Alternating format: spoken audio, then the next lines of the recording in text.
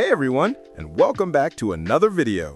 Today we're diving deep into the world of Android customization for rooted users. If you're running a custom kernel and you're looking for a modern, powerful, and beautiful way to manage your device's performance, then you are in the right place. We're going to install Xtra Kernel Manager, a fantastic new tool that gives you fine-grained control over your CPU. And the best part? It installs as a simple Magisk module. Let's get started. All right, let's get this installed. It's super easy since it's a Magisk module. First, head over to the Xtra Kernel Manager GitHub page. I'll have the link in the description below.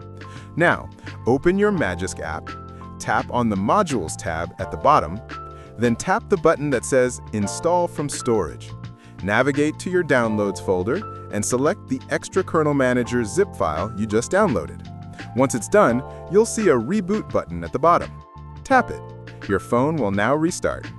After rebooting, open your app drawer and you should now see the new Xtra Kernel Manager app. Let's open it up. The first time you launch it, it will ask for superuser or root permission. Go ahead and grant it. Here's the main dashboard. You can immediately see all your CPU cores and their live temperatures. The interface is so clean. So what exactly is Xtra Kernel Manager? First, you get real-time CPU temperature monitoring. You can see the temperature of each individual core, which is perfect for knowing how your device is handling heavy tasks or gaming. Next, for the power users, it shows you detailed thermal zone status. This is amazing for advanced debugging if you're trying to figure out exactly what's causing your phone to heat up. CPU tuning. This is where you can change your CPU governor on the fly. Want maximum power for gaming?